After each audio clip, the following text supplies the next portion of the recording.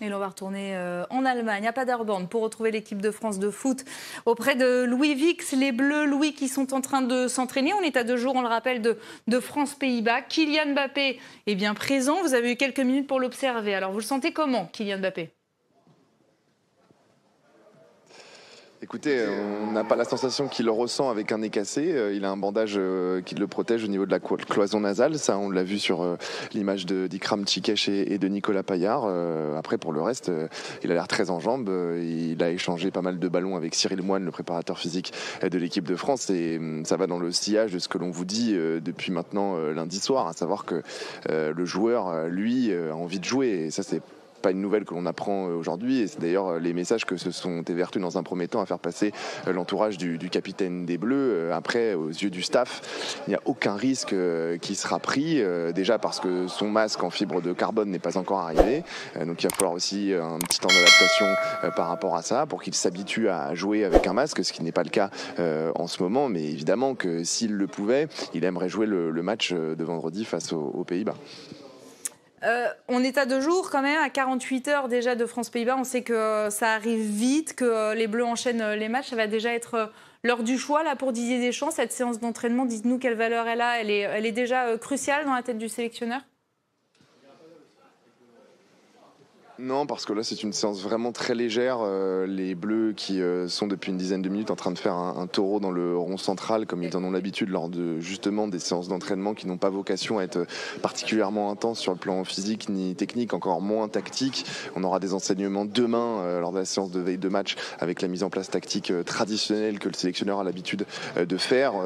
qui pour remplacer Bappé Ça, c'est la principale question qui nous anime, étant donné que ce que l'on vous annonce depuis hier midi, c'est qu'il ne participera pas à ce match euh, face aux, Pays-Bas, qu'aucun risque ne sera pris euh, avec lui. Euh, fracture du nez oblige forcément, masque ou pas masque, c'est une, certitude. On verra qui est choisi pour le remplacer numériquement au, sein de l'attaque. Il y a deux petites infos quand même qu'on peut vous donner, Virginie, c'est que William Saliba s'est entraîné à part aujourd'hui. Il ressent une petite douleur à la cheville, mais visiblement rien de grave, et qu'on a préservé également le latéral gauche Théo Hernandez.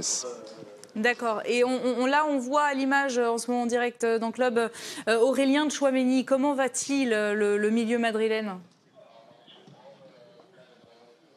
Il va bien, euh, on pourrait le voir face aux Pays-Bas, euh, puisqu'il a participé normalement à l'opposition face au U21 de l'équipe de Paderborn euh, hier, deux fois 30 minutes. C'était l'une des premières fois qu'il participait à une opposition avec contact, lui qui est blessé depuis le début du mois d'avril, hein. donc ça commence à, faire un moment. Aurélien Chouameni, on a vu l'émergence et le retour magnifique d'Engolo Kanté, mais qui ne pourra pas enchaîner des matchs tous les quatre jours à cette intensité-là. Adrien Rabiot nous a confié aujourd'hui qu'il était à 70%. Aurélien Chouameni, on peut imaginer assez naturellement qu'il est entre 50 et 60-70% de sa forme. Donc euh, à Didier Deschamps euh, de gérer ces temps de jeu-là avec euh, bien sûr des garçons comme Eduardo Camavinga, Youssouf Ofana et dans une moindre mesure Warren Zahir Emery qui sont également disponibles au, milieu de terrain. Mais on a hâte de voir comment le sélectionneur va procéder à la réincorporation d'Aurélien Tchouameni étant donné la valeur évidemment qu'a aujourd'hui N'Golo Kanté.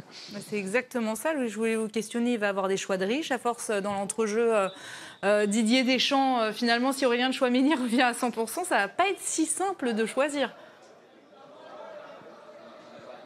Non, mais il va y avoir un besoin de gérer les minutes déjà des uns et des autres par rapport à ce que je vous ai dit sur euh, les états de forme euh, disparates de Kanté, de Chouameni, euh, de Rabiot et de Griezmann parce qu'on a trouvé Antoine Griezmann quelque peu en difficulté sur le plan physique lors du premier match face à l'Autriche. Alors on sait qu'il a l'habitude de monter en puissance au fur et à mesure des, grandes compétitions, mais c'est pas impossible non plus que Didier Deschamps laisse reposer Antoine Griezmann à un moment ou un autre. Donc il n'est pas non plus de voir jouer Kanté avec Chouameni, avec Rabiot ou avec un joueur un peu plus créatif euh, comme peut l'être euh, Eduardo Camavinga. Mais c'est sûr qu'au milieu de terrain, on est particulièrement bien fourni euh, et que de ce que l'on a vu face à l'Autriche, tout cela est porteur d'espoir pour aller le plus loin possible.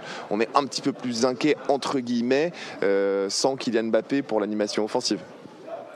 Et, une dernière question, euh, Louis, qui euh, a trait justement à, l'état de forme de, tous ces joueurs. Euh, parlons des, Néerlandais qui, eux, ont joué finalement quasiment plus de 24 heures avant l'équipe de France. Il a été question de l'état de fatigue en conférence de presse. Est-ce que vous pensez que ça peut peser dans la balance?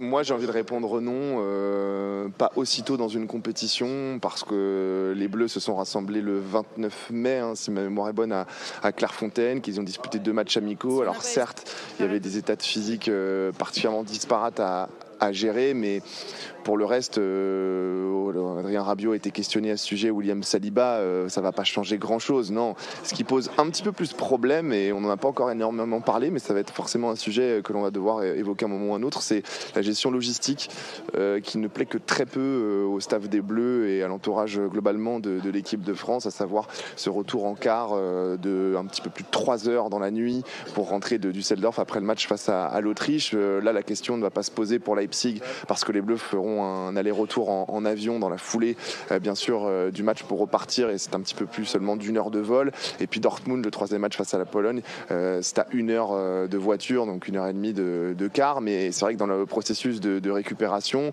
pas tout de suite, mais si ça continue comme ça, au fur et à mesure de la compétition, ça pourra peser un moment ou un autre.